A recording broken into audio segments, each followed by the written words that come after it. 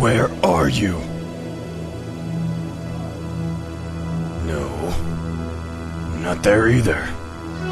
Ugh, they're not even close. I guess the dragon had bad aim. Huh?